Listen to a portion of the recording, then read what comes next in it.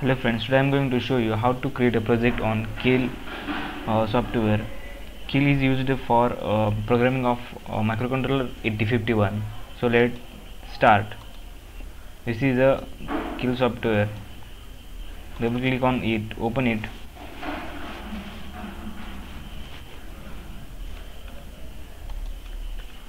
In this window go in project uh, click on new micro vision project. Give file name here.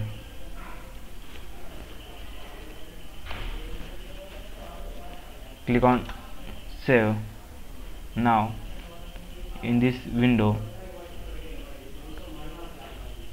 click on Atmel. In Atmel search for IC 80 89C51 click on this IC and now click on OK. Click on yes. Again click on yes. You will get here project Sandeep.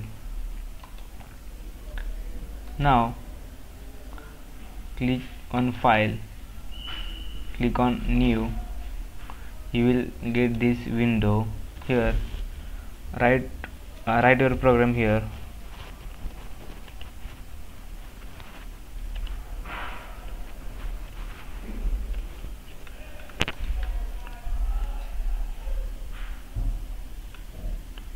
After completing your uh, program in this window uh, save this file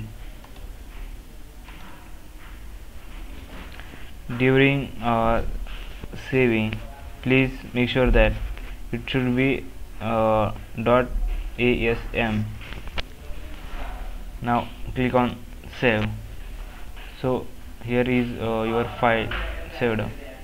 Now go to in source. Uh, right click on source group 1 you will get this window.